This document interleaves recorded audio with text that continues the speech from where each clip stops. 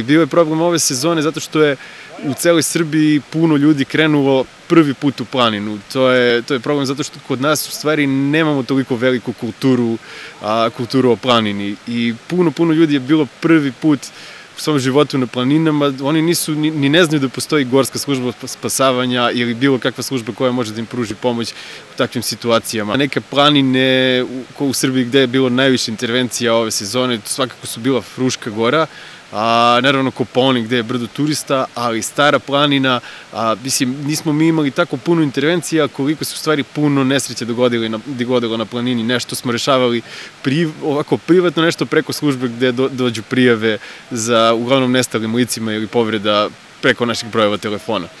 svi planinari to već znaju dobro, to je naš broj telefona, on je 062 46 46 46. Svi koji se kreću u prirodi idu na planinarenje, trebalo bi da imaju upisan taj broj telefona u svojim mobilnim telefonima.